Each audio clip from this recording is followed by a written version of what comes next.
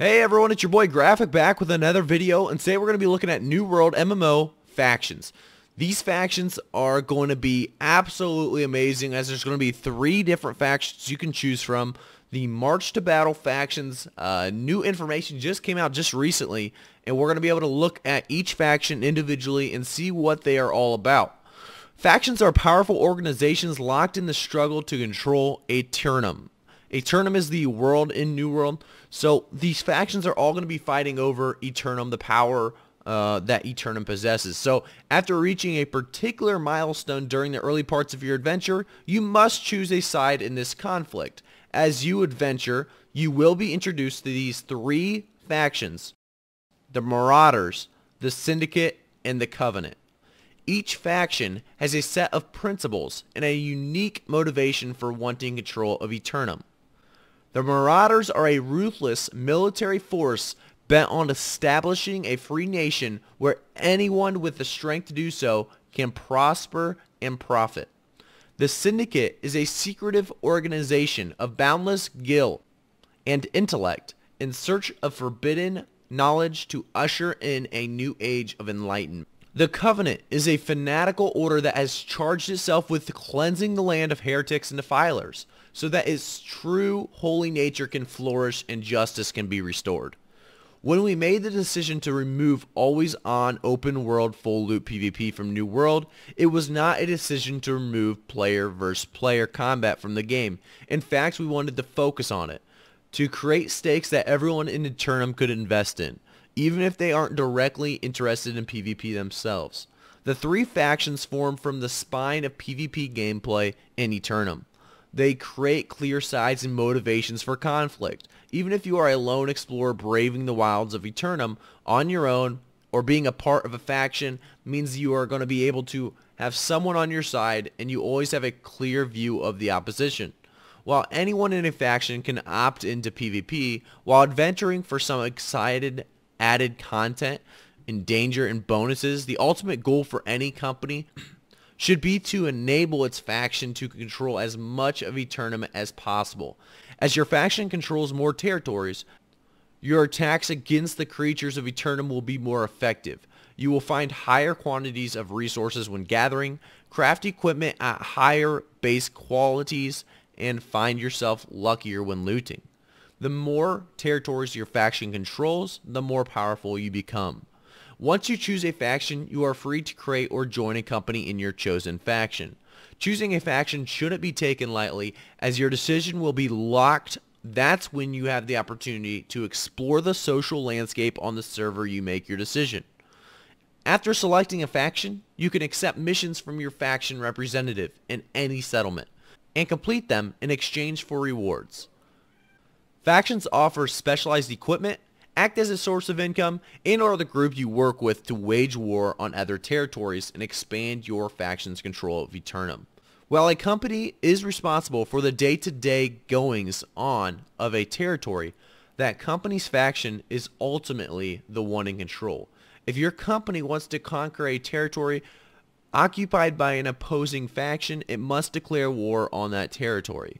In order in order to declare war, the territory your company seeks to conquer must be vulnerable. A territory is not vulnerable to a declaration of war unless it has been sufficiently undermined by an opposing faction. In order for a faction to retain control of a territory, its members must actively reinforce that faction's influence within that territory.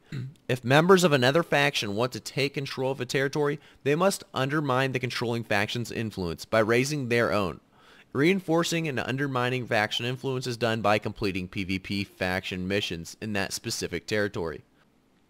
There are two types of faction missions, PvE and PvP. PvE missions ask you to do things like kill creatures, uh, craft supplies, or stockpile resources.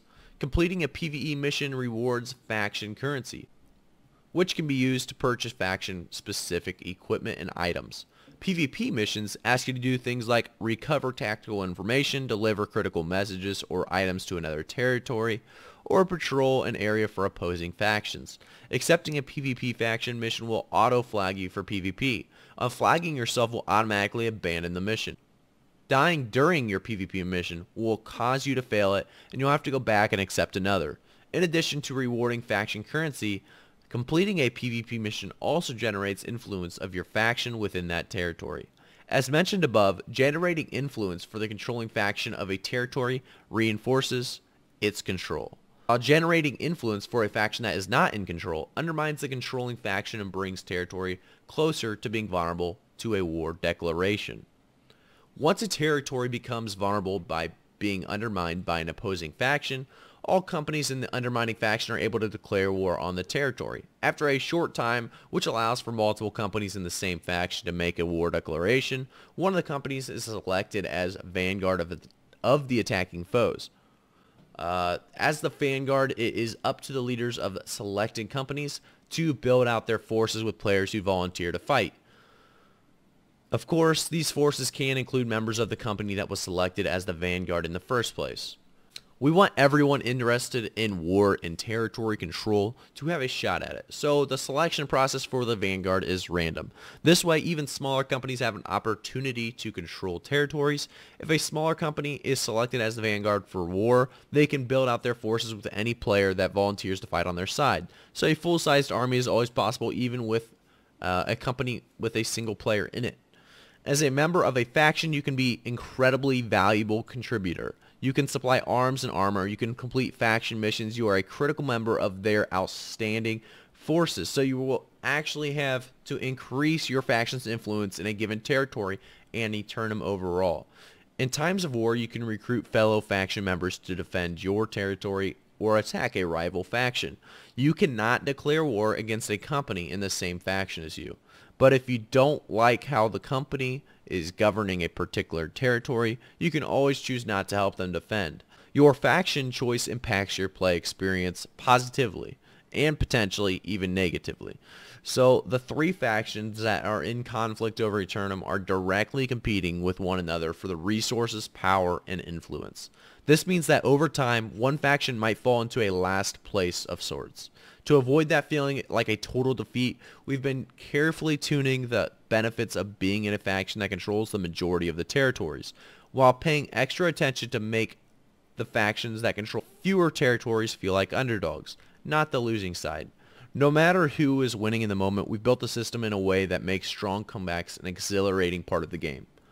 So after I, you know, gave you guys a quick overview of, uh, you know, what the blog post said and, you know, what we know right now about factions, I do have a little quiz in the description below if you guys want to take a look at that and maybe try out the quiz and just see what, you know, faction looks correct to you. There's a faction quiz and it tells you kind of what faction they think you should be a part of um, or what faction kind of you would represent in most cases. So I will leave that quiz in the description. Like I said, you guys leave a like, comment, and subscribe, and I'll see you guys next time on the next New World MMO video.